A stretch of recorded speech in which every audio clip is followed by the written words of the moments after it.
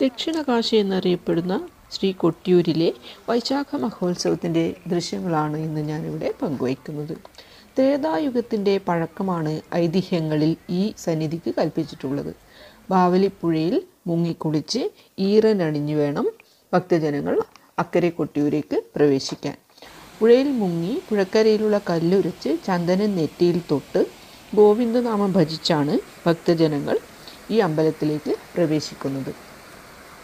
പ്രകൃതിയും മനുഷ്യനും ദിവ്യ ചൈതന്യവും ഒന്നായി ചേരുന്ന ഒരു ദിവ്യ ഭൂമിയാണ് കൊട്ടിയൂർ. ത്രിമൂർത്തികളുടെ സാന്നിധ്യമുള്ള ത്രികുടിയൂർ ലോഭിച്ച് കൊട്ടിയൂർ ആയി എന്ന് ആണ് ഒരു വിശ്വാസം. തെക്ക് ഇക്കരെ കൊട്ടിയൂരിൽ സ്ഥിരം പൂജകൾ ഉണ്ട്. എന്നാൽ വടക്ക് അക്കരെ കൊട്ടിയൂരിൽ വൈശാഖ മാസത്തിൽ മാത്രമാണ് പൂജ. അതായത് രണ്ട് ക്ഷേത്രങ്ങളാണ്. അതിൽ അക്കരെ കൊട്ടിയൂരേക്ക് സ്ഥിരമായ ഒരു നിർമ്മിതികളൊന്നും കാണാനില്ല. വൈശാഖ മഹോത്സവത്തിന് വേണ്ടി മാത്രമാണ് അവിടെ ഓല വെച്ച് നിർമ്മിതികൾ ഉണ്ടാക്കുന്നത്. അതുപോലെ തന്നെ ഓരോ കാര്യങ്ങൾ ചെയ്യാനായി അവകാശികളും അധികാരികളും ഉണ്ട്. അവർക്ക് വേണ്ടിയുള്ള കയ്യാലകളും ഈ സമയത്ത് ഓല വെച്ച് ഉണ്ടാക്കുകയാണ് പതിവ്. രണ്ട് ക്ഷേത്രങ്ങളും ബാവലിപ്പുഴയാൽ ചുറ്റപ്പെട്ടിരിക്കുന്നു. ബ്രഹ്മാവിന്റെ പുത്രനായ ദക്ഷൻ ത്രിമൂർത്തികളെയും മുപ്പത്തിമുക്കോട് ദേവന്മാരെയും ക്ഷണിച്ച് ദക്ഷയാഗം നടത്താൻ തീരുമാനിക്കുന്നു. സ്വന്തം പുത്രിയായ സതിയെയോ ശിവഭഗവാനെയോ ദക്ഷൻ ക്ഷണിക്കുന്നില്ല. എന്നാൽ തന്റെ പിതാവിന്റെ യാഗം കാണാനായി ശിവഭഗവാന്റെ താല്പര്യമില്ലാഞ്ഞിട്ടും സതീദേവി അവിടെ എത്തിപ്പെടുകയും അവിടുന്ന് ദക്ഷൻ അവഹേളിക്കുകയും ചെയ്യുന്നു. അതിൽ മനന്നൊന്ത് സതി ആത്മാഹുതി നടത്തുന്നു. സതീദേവിയുടെ ആത്മാഹുതി നടത്തിയ സ്ഥലം അമ്മാറയ്ക്കൽ എന്ന് അറിയപ്പെടുന്നു. സതിയുടെ വിയോഗത്തിൽ ക്ഷുഭിതനായ ശിവൻ തന്റെ ജട പറിച്ച് നിലത്തടിക്കുകയും അതിൽ നിന്ന് ജനിച്ച വീരഭദ്രൻ ദക്ഷന്റെ തല അറുത്തു മാറ്റുകയും ചെയ്യുന്നു.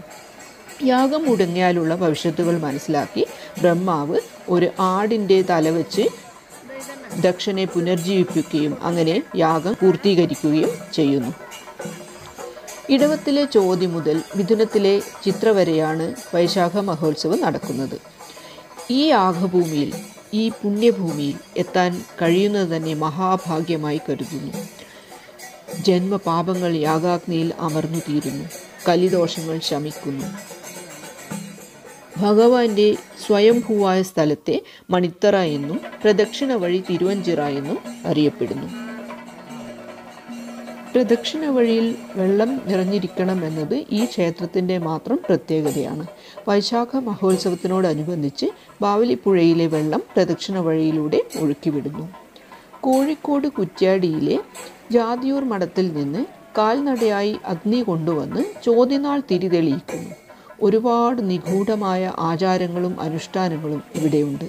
ഇളനീർ നെയ്യ് എന്നതൊക്കെ വ്രതത്തോടെ കാൽനടയായാണ് ഭക്തജനങ്ങൾ ഇവിടെ എത്തിക്കുന്നത്.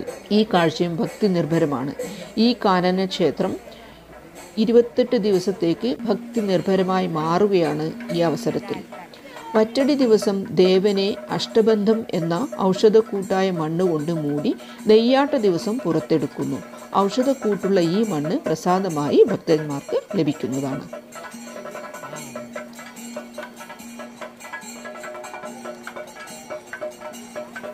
തിരുവഞ്ചിറയിലൂടെ ഭക്തന്മാർ നടന്നു പ്രദക്ഷിണം വയ്ക്കുന്നത് നിങ്ങൾക്ക് ഇവിടെ കാണാവുന്നതാണ്. ഇവിടെ ശയനപ്രദക്ഷിണവും ഒക്കെ നടക്കുന്നുണ്ട്. ഈ വെള്ളത്തിൽ തന്നെയാണ് ഭക്തന്മാർ ശയനപ്രദക്ഷിണവും നടത്തുന്നത്. വളരെ ഭക്തി നിർഭരമായ ഒരു ഒരു അന്തരീക്ഷമാണ് ഇവിടെ നമുക്ക് കാണാൻ പറ്റുന്നത്. ഈ സൈഡിലൊക്കെ കാണുന്ന കയ്യാലകളാണ് നടത്തിപ്പുകാരുടെ കയ്യാലകൾ.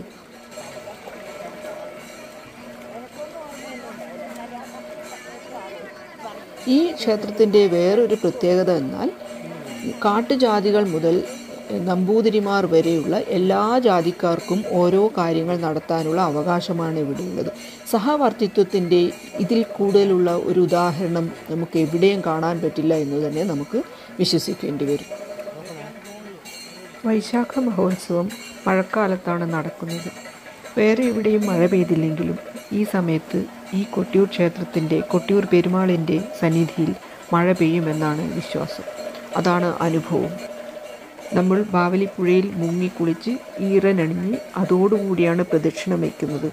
അപ്പോൾ കൂട്ടിനായി എപ്പോഴും മഴയും ഉണ്ടാവും അങ്ങനെ മഴയിൽ നനഞ്ഞുകൊണ്ടാണ് നമ്മൾ ഈ സന്നിധിയിൽ പ്രദക്ഷിണം വയ്ക്കുക.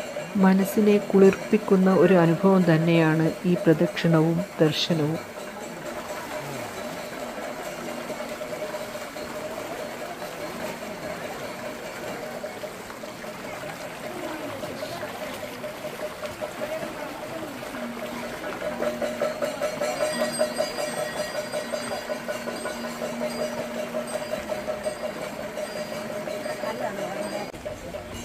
ഇതാ ഇതാണ് ബാവലിപ്പുഴ.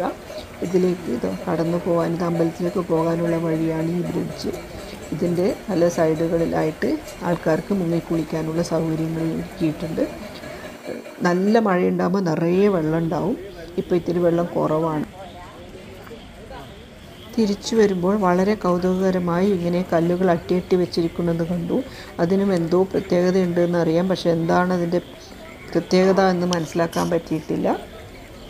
എല്ലാവരെയും കൊട്ടിയൂർ പെരുമാൾ അനുഗ്രഹിക്കട്ടെ എന്ന് പ്രാർത്ഥിച്ചുകൊണ്ട് ഈ വീഡിയോ ഇവിടെ നിർത്തുന്നു. നമശിവായ